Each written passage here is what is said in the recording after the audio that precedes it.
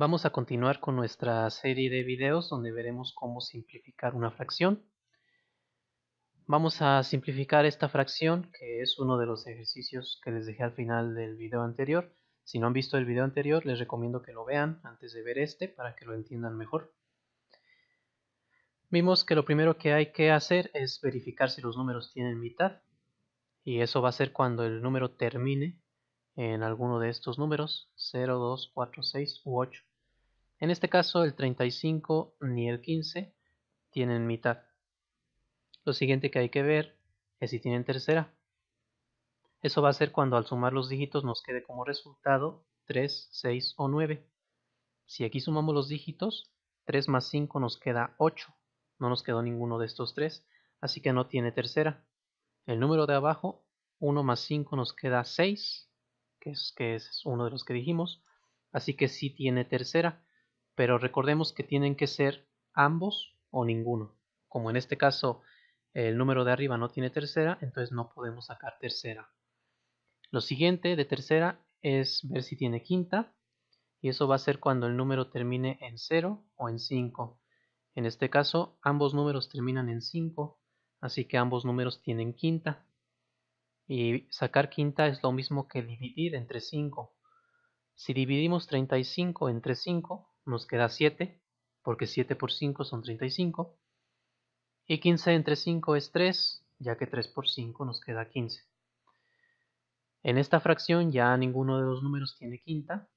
Y aquí ya terminamos. Esta es la fracción más simple que podemos sacar a partir de esta. Vamos a ver otro ejemplo. 20 sobre 130. Ambos números terminan en 0, así que ambos números tienen quinta o ambos números tienen mitad. Es recomendable primero empezar con la mitad para que las divisiones después sean más simples de hacer. Vamos a sacar entonces mitad. La mitad de 20 es 10 y la mitad de 130 es 65. Ahora tenemos arriba un número que termina en 0, así que tiene mitad, pero el de abajo termina en 5, no tiene mitad. Si sumamos los dígitos, 1 más 0 nos queda 1, así que tampoco tiene tercera. Pero vemos que ambos tienen quinta. El de arriba tiene quinta porque termina en 0 y el de abajo tiene quinta porque termina en 5. Así que vamos a hacer la división entre 5. 10 entre 5 nos queda 2 y 65 entre 5 nos queda 13. En el resultado vemos que ya ninguno de los números tiene quinta, así que aquí terminamos. Intenten ustedes simplificar ahora estas dos fracciones.